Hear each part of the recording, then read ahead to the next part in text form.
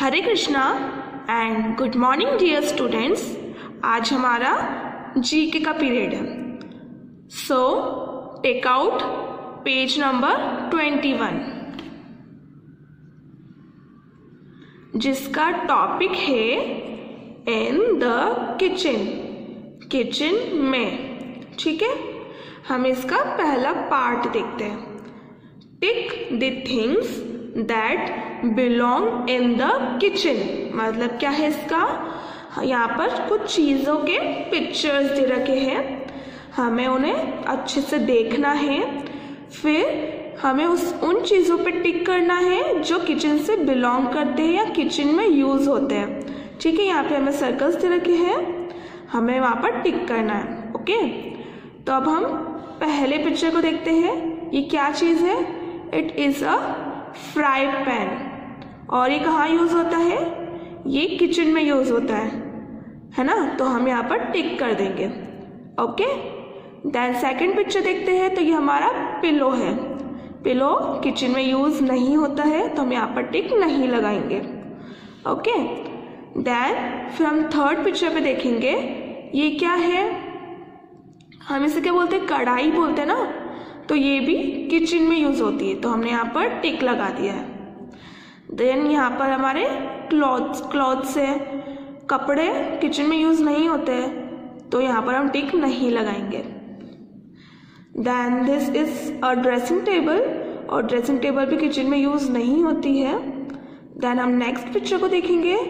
तो ये क्या है? Mixer grinder mixer grinder use होता है ना किचन में। है ना? तो फिर हम यहाँ पर टिक लगा देंगे। ओके देन हम नेक्स्ट पिक्चर को देखेंगे। It is a sauce pan sauce pan kitchen में यूज़ होता है। हम यहाँ टिक लगा देंगे। Okay then it is a spoon spoon भी यूज़ होता है। तो हम यहाँ पर भी टिक लगा देंगे। चेयर यूज़ नहीं होती है कुछ डिश बनाने के लिए। तो हम यहाँ पर टिक नहीं लगाएँगे।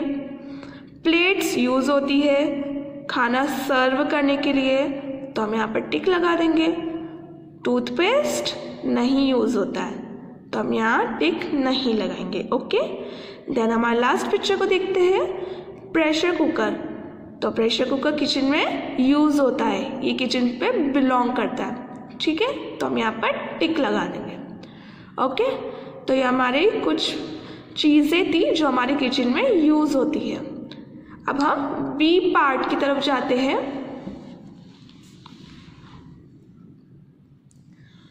Which of this would your parents use मतलब क्या है?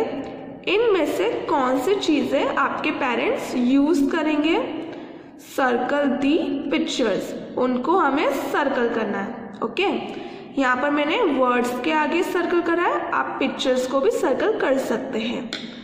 हम फ़र्स्ट देखेंगे टू टोस्ट ब्रेड मतलब ब्रेड को सेकना। हम इन दो चीज़ों में से किस, किसे यूज़ करेंगे? ब्रेड को सेकने के लिए ब्रेड को टोस्ट करने के लिए किसे यूज़ करेंगे? हम टोस्टर का यूज़ करेंगे ना? तो हमारे पेरेंट्स क्या यूज़ करेंगे? टोस्टर ओके तो हम यहाँ पर सर्कल लगा देंगे। ठीक है? सेकंड है to make coconut chutney.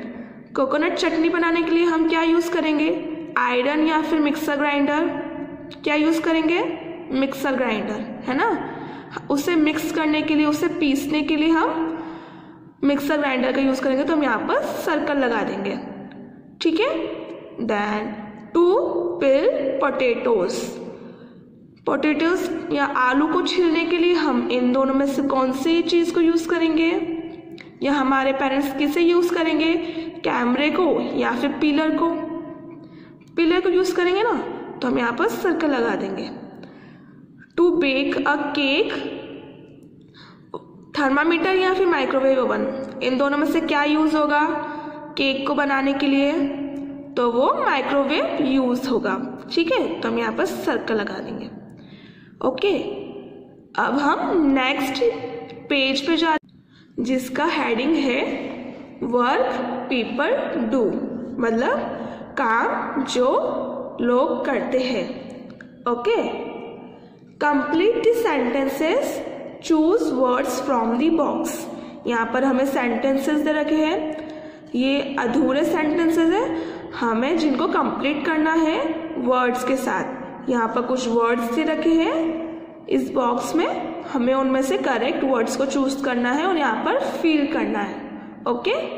तो हम पहले देखते हैं फ़र्स्ट सेंटेंस क्या है। हम इन पिक्चर को देखते हैं। I act in movies I am an कौन है? He is an actor I am an actor ये कौन है? अमिताभ बच्चन। ये इंडिया के फाइनेस्ट और काफ़ी पॉपुलर एक्टर है। इनकी बहुत सारी मूवीज़ आई। इन्होंने बहुत सारी मूवीज़ में काम करा है। तो ये कौन है? एक्टर है ओके देन हम सेकंड देखेंगे। I play music I am a musician मतलब संगीतकार। वो म्यूज़िक को प्ले करते हैं। शी इज़ एन म्यूजिशियन है ना? जो गाना गाते हैं, जो गाना बनाते हैं, वो म्यूजिशियंस होते हैं, ठीक है? देन हम थर्ड पिक्चर को देखेंगे तो ये क्या दिख रहे हैं? ये कुछ बनाते हुए दिख रहे हैं। तो हम पहले सेंटेंस पढ़ते हैं। I make statue statues I am a sculptor क्या है? स्कल्प्टर मतलब कि संगत राश। संगत राश मतलब कि जो मूर्तिकार होते हैं, जो स्टेचूज बनाते हैं, जो मूर्तियाँ बनाते हैं, उन्हें स्कल्प्टर्स कहते हैं। ओके देन फोर्थ देखेंगे I look after people's teeth I am a मैं लोगों के दांत देखता हूँ और मैं कौन हूँ?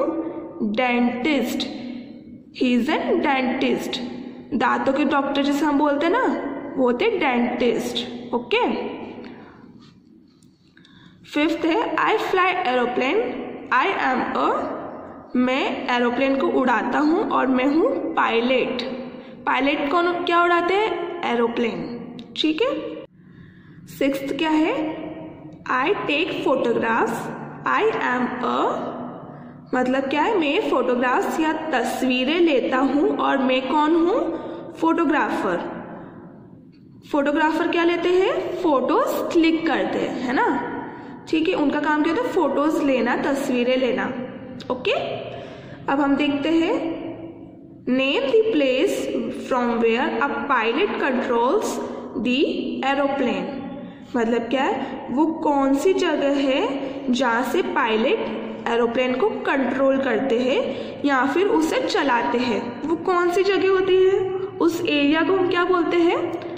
उस एरिया को हम बोलते हैं कॉकपिट या फिर फ़्लाइट एरिया ठीक है? जो कि एरोप्लेन के सबसे आगे वाले जो हिस्सा होता है ना एरिया वहाँ पर होता है। वहाँ से पायलट एरोप्लेन को कंट्रोल करते हैं। ठीक है? आई होप आपको आज के टॉपिक समझ में आए होंगे। Okay thank you Hare Krishna.